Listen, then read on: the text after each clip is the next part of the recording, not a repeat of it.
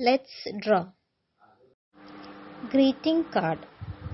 Vidu is a new student this year. The others want to make him a greeting card.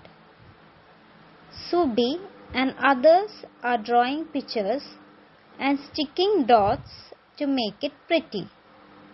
Can you help? There is one dot in the picture. How many more of the same size can you fix around it? What I guessed is 4. How many dots could I actually fix?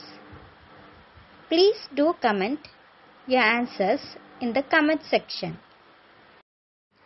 Can you draw? See the picture made with circles. You can color this picture using various colors. Draw another picture using circles. How did you draw the circles? We can draw circles using coins, bangles, bottle lid, pen lid, etc. Thank you. Please like, share and subscribe my channel for more updates.